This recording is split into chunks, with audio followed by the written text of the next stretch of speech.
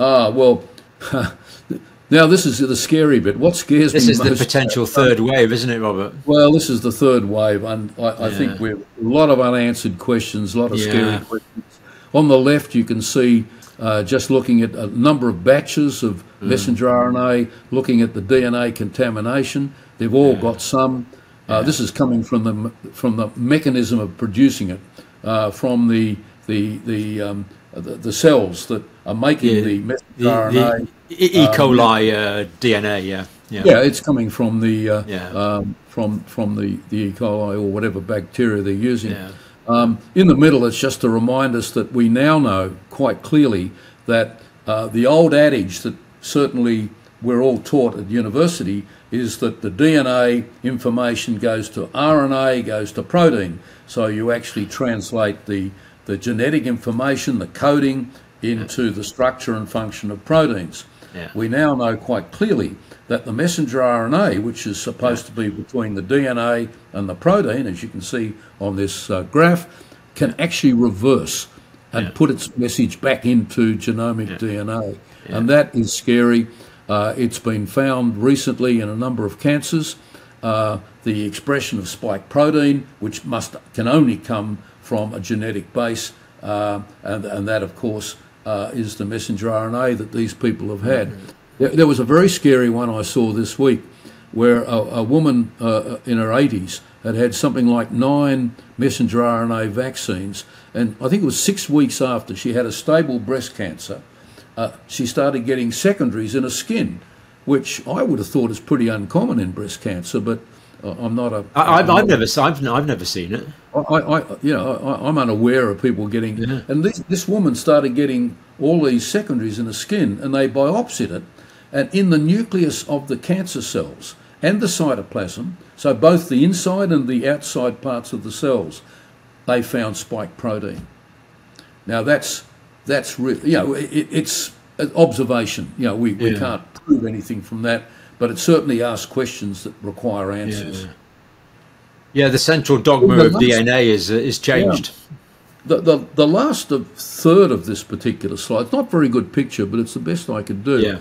Um, you can see a sort of blue staining. It's a, a pancreatic cancer. They're a very Yeah. interesting study from a, a, a group that sees a lot of pancreatic cancers. And what they found was that in the correlating with the period when vaccines were rolled out was a big increase in incidence of pancreatic cancer. Now, other people have described that. But what they found was that in a number of the cancers with pancreas, there was evidence of immune suppression of the response to COVID from the Yeah. too much vaccination. And when they looked at the cancer, this is a, a section of the pancreatic cancer, those little brown spots are T regulation cells. These are the suppressor cells that are responsible for turning off immunity.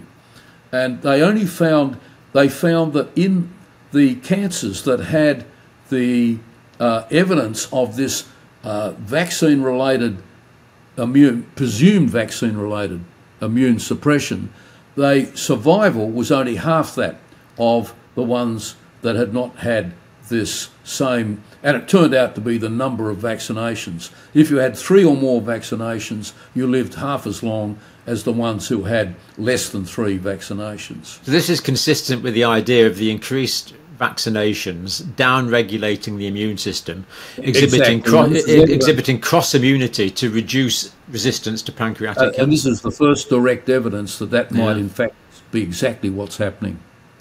That is that is yeah that is pretty frightening. Very frightening. Yeah. Now, this is, I think, my last slide. I love this slide, John, because it tells a story. Now, uh, I, I don't know uh, Kylie Wagstaff. I'd love to meet her, and if she ever watches this, uh, she's always welcome to have a cup of tea if she comes from Melbourne to Sydney. Now, I've got to be careful because Monash is where I did my PhD, and Yeah. I- I'm not sure if you can take a PhD back, but Monash has been behaving uh, a, a, a little bit, um, little bit interestingly, shall we say. Uh, Kylie Wagstaff was the woman who first showed that ivermectin killed the virus. Uh, she is a world expert on ivermectin and viral illness. And in 2020, I think it was very early in about April, she came out showing this was highly effective. And in fairness to Kylie, she said, look, you know, we need to do proper clinical studies. Well, the university clamped down on her like a ton of bricks. And all of a sudden, nothing was heard, nothing was happening. Um, uh, the I, I, love this quote from uh, uh, we have this uh, newspaper. It's not one of our better ones, but it's called the Sydney Morning Herald. On the 22nd of October 21, so yeah, right in the middle of all the scary times, uh, this came out, and the heading was "How a False Science Cure Became Australia's Contribution to the COVID Pandemic," and this was the sort of nonsense that was going on. I, I, I, re- I actually remember seeing this, and I, I really felt for Kylie Wagstaff because yeah. uh, she was really being suppressed. And now, what we didn't know is that Kylie was doing the right thing. Yeah. She was doing a little tiny randomised controlled trial of her own. Now, I, assume she began that way back in 2020 when she had uh, uh, the handle on this ivermectin. But in the meantime, uh, we suddenly find grants of huge millions of dollars going to Monash University from the government and from um, Moderna, the, the company that makes messenger RNA vaccines. And here's a picture of the head of Moderna in Australia and representative of Monash University shaking hands over the world's first mRNA, messenger RNA, university commercial collaboration. Mm. And that tree is actually $3 million that went to the university. Now, isn't that interesting? So, what should we see? I think it's, uh, uh, is it September? I think, yes, yeah, September of this year. Kylie publishes her little randomized controlled trial yeah. where she was giving, um, it was a very small study. Uh, was, I think there was only about 60 or so uh, people, but they were people closely associated with someone who got COVID. And they were given just one, just one capsule of ivermectin, just one. 12 milligrams, and presumably. Yeah. 12 milligrams. It, yeah. was on a weight basis, but it was average yeah. around about 12 milligrams.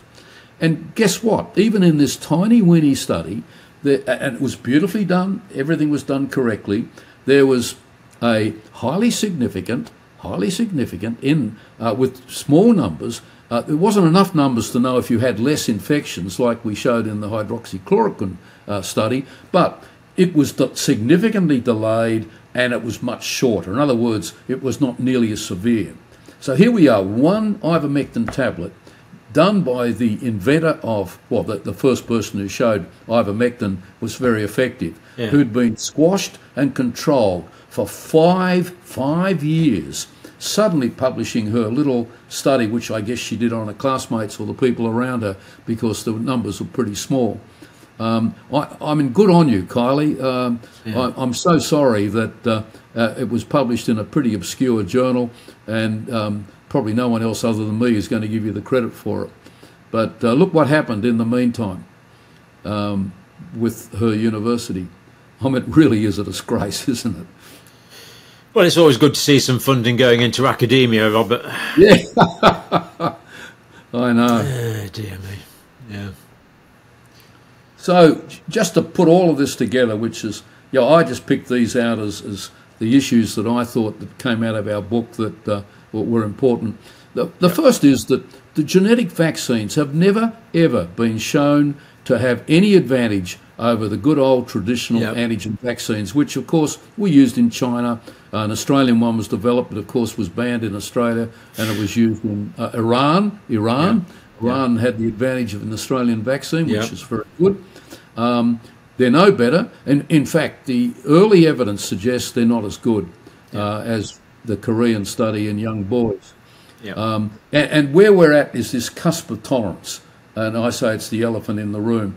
Uh, something you're not seeing with the antigen vaccines because you control the dose. With the yep. antigen vaccines, you can't control the dose with yep. the genetic vaccines. I tried to describe the adverse events in my view, as three overlapping waves. Yep. One due to T cell attack on uh, foreign protein expressed by yeah.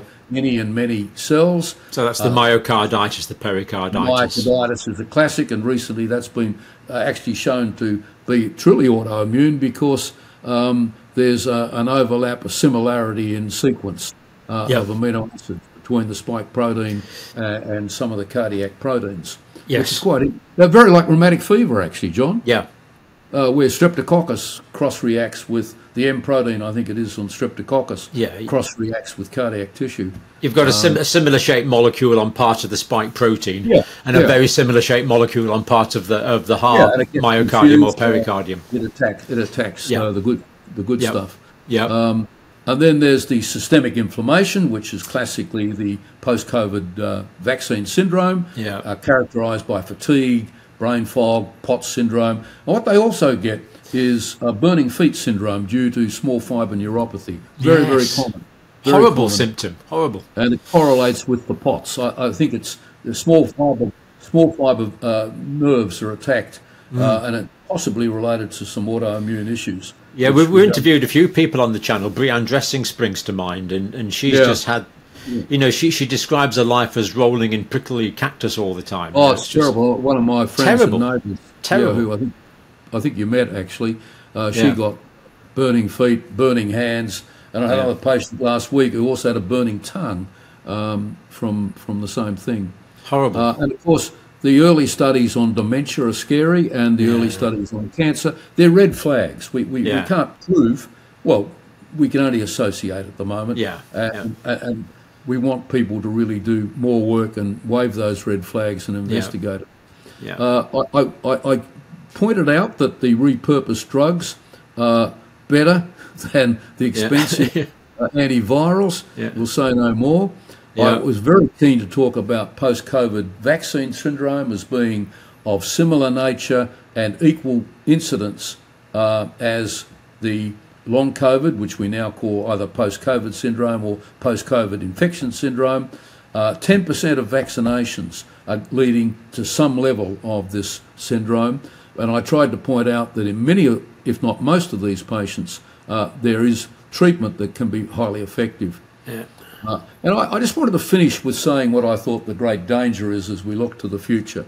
The great danger and the unique aspect of this pandemic compared with every other pandemic we've had in Australia is that we haven't learnt. We have not learnt. We've had a series of uh, government uh, inspired uh, in, uh, reports and investigations, and each and every one of them uh, have been disgraceful. Um, the second thing is that my profession, medical profession, uh, is shifting uh, to a government control. We, we aren't making the decisions at a patient level. Yeah. Uh, that the, the great strength of the profession has been that we've made decisions with a patient and we've made them on science. Yeah. And what COVID has done has laid bare probably an evolving phenomenon that's been going on for some time. So Yeah. that's my five points, John. Yeah. Doctors aren't allowed to be doctors and they're not allowed to establish Oh, concordance like with, with, with their yeah. patients anymore. That's true. Robert, that is such a brilliant summary. Um, thank you, as always. And uh, we certainly look forward to doing the, the, the next paper that you're working on. Well, I wish I had half of your energy, I really do. Um, oh, you've probably twice mine, John. If only. And the book, of course. well, I, I tell you one other thing that, that I don't think I've had a chance to tell you. Mm. Oh, yes, I have, because you've written something for it. Um, as you know, and some of the Australian people watching this might Yeah. know, um, I, I've been very uh, impressed by uh, Quadrant, which is a, Yeah. Uh, it's probably a centre right sort of uh, journal, which is pretty appropriate for people over the age of 50. Um, but it, it's, it's very Pretty good. appropriate for anyone who's a clear thinker, yes. Yeah, they've published 12 of my articles through the COVID period. yeah, yeah. And each article's looked at wh- what I saw as issues of the day. Yeah. And, and they're putting the 12 together. I've written a prologue and an epilogue, and John's written a very nice introduction, uh, as has Peter McCullough from, from Yep. America. Uh, and so Peter and John have written an introduction, and they're bringing this out as a small book before Christmas. Uh, so um, I, I never mind saying nice things about Quadrant because uh, it's a well-kept secret. It's a terrific, uh, terrific journal on a whole range of, of issues, uh, and it's been incredibly supportive of the, the truth um, in uh, um, in COVID. Uh, they've got a, an ex-prime minister as the chairman of the board. Uh, it's it's it's certainly not a dodgy journal. It's a high quality, high class journalistic effort. Yep. And we'll certainly put links to, to all of these things. Excellent. Um, Robert, as always, thank you so much on behalf of my audience, but, but, but on behalf of the human race, really, for what you're doing. You know, you're bringing things to light that otherwise would be suppressed by who know who knows which alternative powers. So, as always, thank you so much. John, as always, it's such a pleasure to, to talk with you. Yeah, it's really important stuff. Yeah, thank you.